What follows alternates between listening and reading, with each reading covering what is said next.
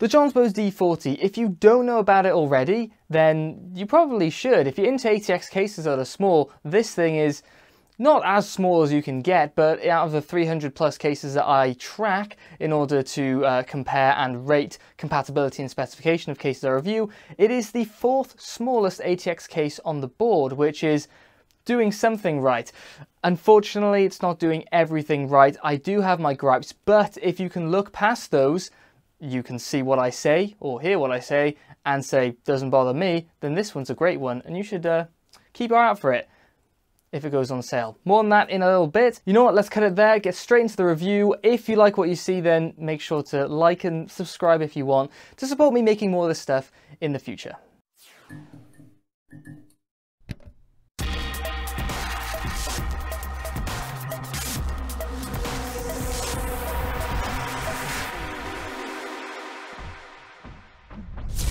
Not much to say about the packaging, the box it came in had quite the lower dent, but the protection inside is your premium closed cell foam which seemed to avoid any damage. Getting into an overview, this case has a very non-standard layout that might appeal to quite a few of you out there. Yes, the front is completely sealed, but the front is not part of this case's intake ventilation, but it still plays a role in the cooling strategy, which we'll cover in detail throughout the first part of this video. The front naturally houses the front I.O. consisting of a power button with surrounding LED power and drive activity LED diffuser.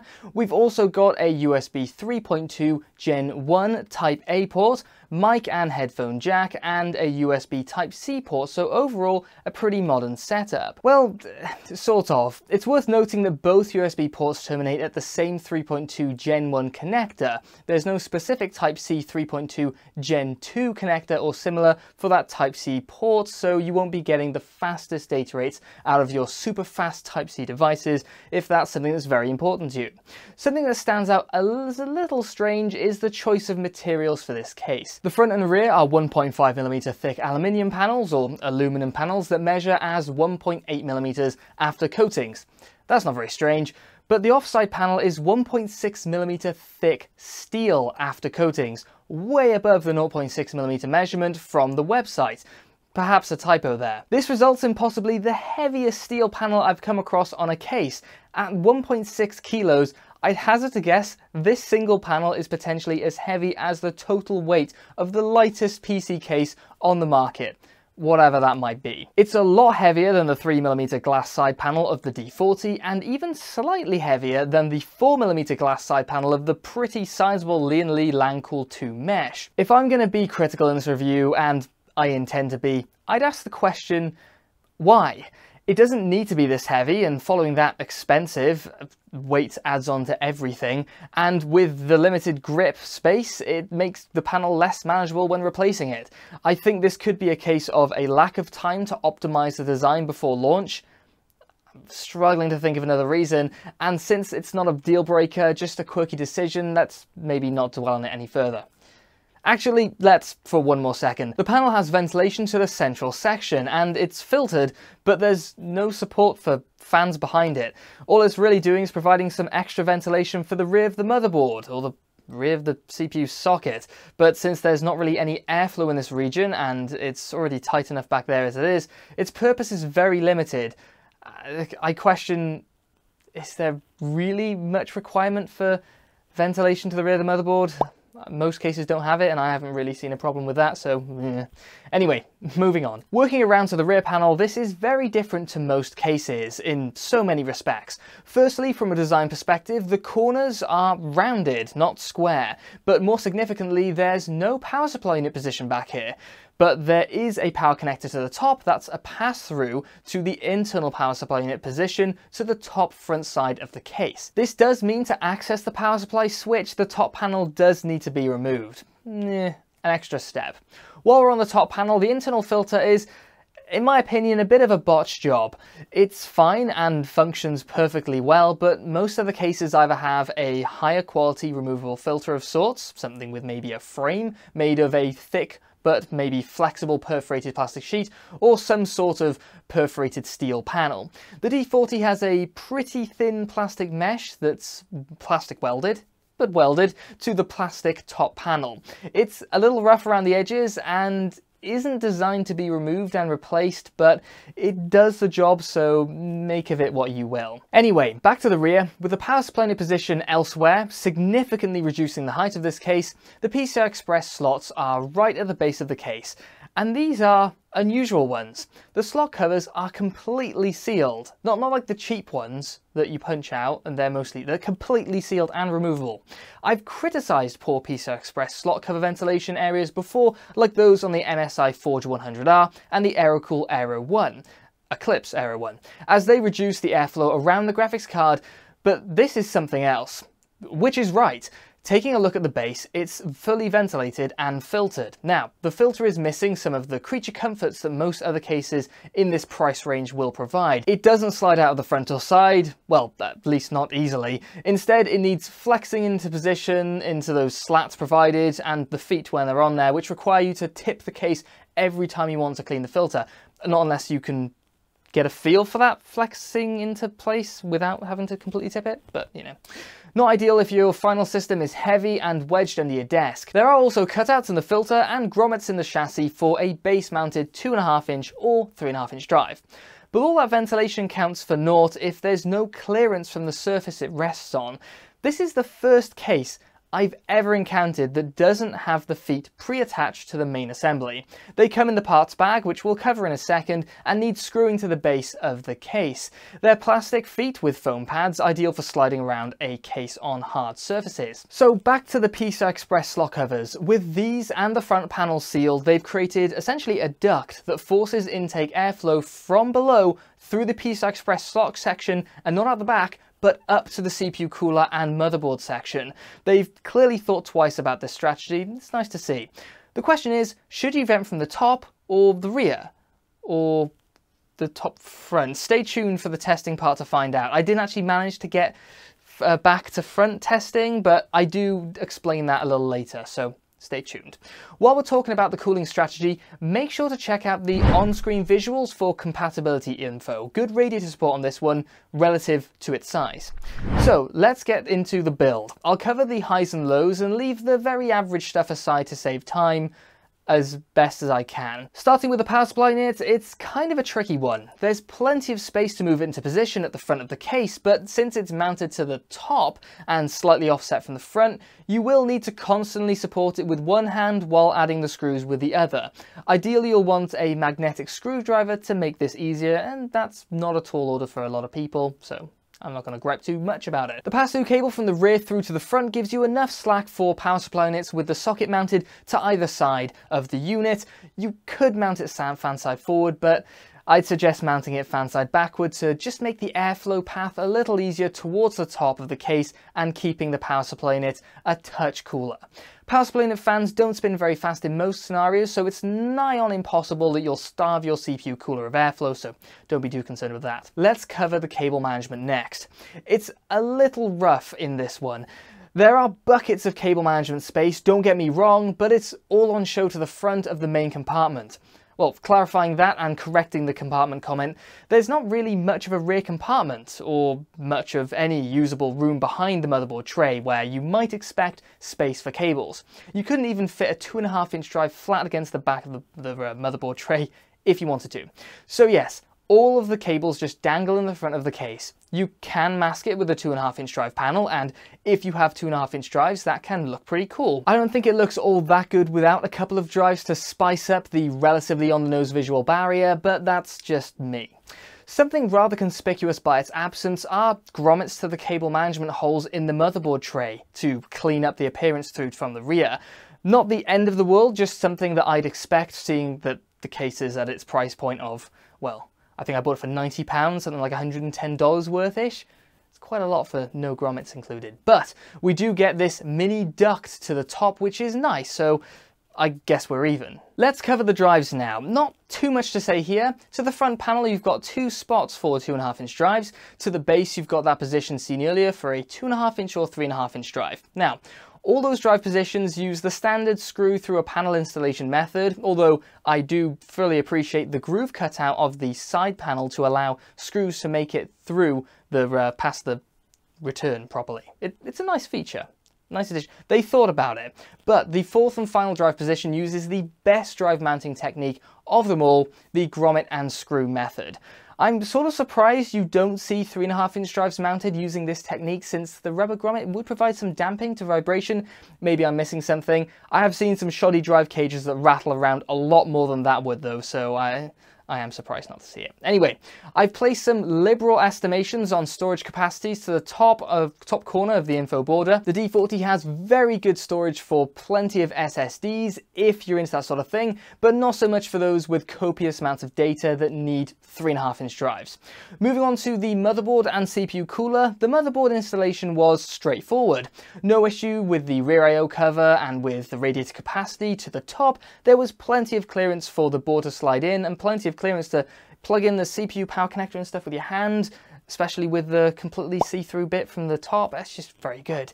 No side of a standoff post to help align the board, but that's not exactly a necessity. As for the CPU cooler, there's loads of support for any massive CPU cooler you could want, apart from uh, one or two, but they're not exactly amazing anyway. There's also good access to the rear of the board for in-situ installation too. Not that I necessarily recommend it, but for future stuff, nice to have. As for the graphics card installation, they've opted for the sensible standard screw instead of those fiddly thumb screws wedged into awkward corners like these.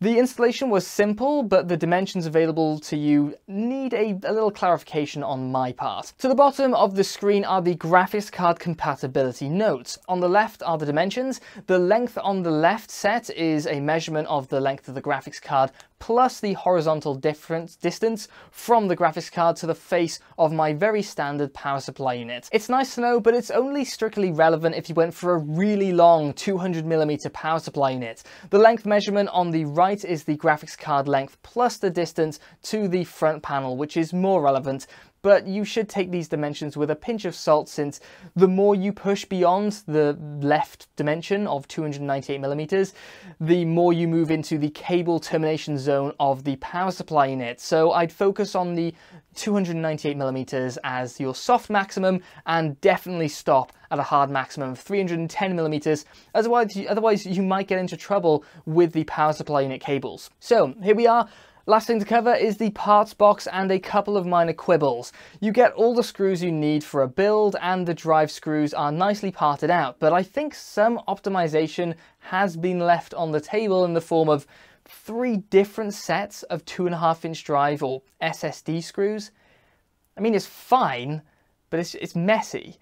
To get the bad news out of the way, if you wanted to use the rear as an intake, which would make some sense, you could have a couple of intakes to the base, one to the rear, flip the CPU cooler around to exhaust towards the rear and throw an exhaust to the top front position, which would work alongside the power supply unit as an additional exhaust. Could be good, but that would mean you've got an unfiltered intake, so you'd get faster dust buildup.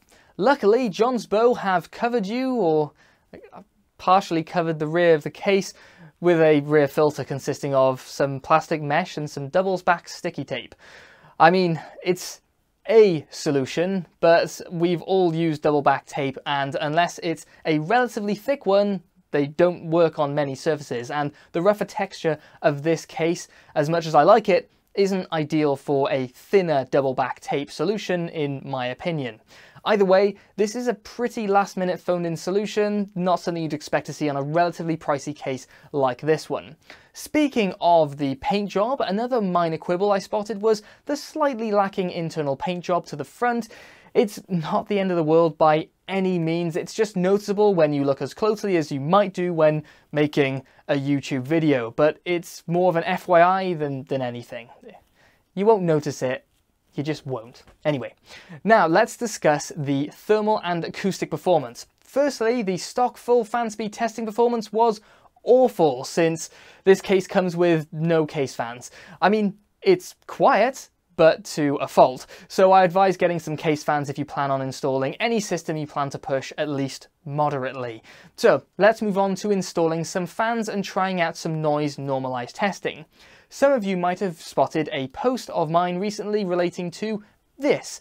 So this is the great premiere of my testing setup example visual thing. Due to the non-standard cooling configuration of this case, two base intakes seem to be the most sensible place to start. Intakes are by their nature restricted by filters, so more intakes than exhaust is typically a reasonable approach. After that, I tested two different exhaust setups. The first was a rear exhaust working with the CPU cooler's fan and further assisting the graphics card. And the second was placing the exhaust up top, which is perpendicular to the CPU cooler's fan and airflow created by that fan, and is also away from the graphics card and exhausting through a fixed top panel filter, which is far from the free area afforded to the rear exhaust position. I mean, look at the free, look at the size of those circle cutouts, the holes. Loads of free area. Unfortunately, I didn't feel I had the time to test another setup that I think could be good. It's the one I mentioned earlier, rear intake with the awful filter, optional, I guess, but we want to try and filter it. Anyway, with the awful filter, flip the CPU cooler's fan exhausting forward, top front exhaust working with the power supply in it, and one or two base intakes. I limit the case testing fans to three to be reasonable. I think this setup idea is good, but I'm not a fan of turning an unfiltered exhaust into a filtered intake. It just cuts down the free area, which will result in more noise and less airflow. Anyway, I hope you enjoyed the artist's impression, or my artist's impression of particle-y in simulation-y thing there. I think it looks interesting and gives an impression of how the airflow runs through the case. So anyway, how did those two setups perform? Well, long story short, the two base intakes with the rear exhaust fairly significantly outperforms the two base intakes with the top exhaust. At least that's mainly true for the CPU temperatures over the GPU temperatures with the full load of Prime95, also known as the light blue bars. The GPU performance isn't that different in performance across the two setups.